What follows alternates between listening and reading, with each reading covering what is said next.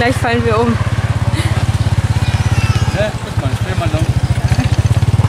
Mal, Arzt, mir wird schwindelig. Das wendigste Ding, das ich je gefahren habe.